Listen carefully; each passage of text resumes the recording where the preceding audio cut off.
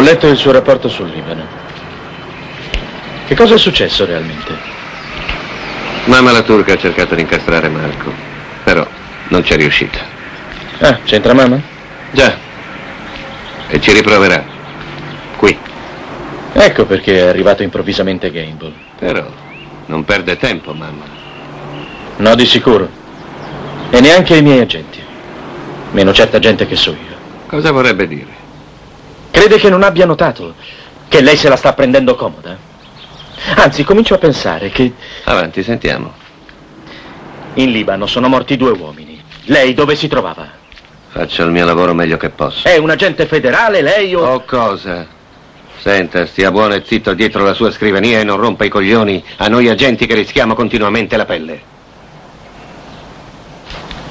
Appena lei va in un posto succede qualcosa.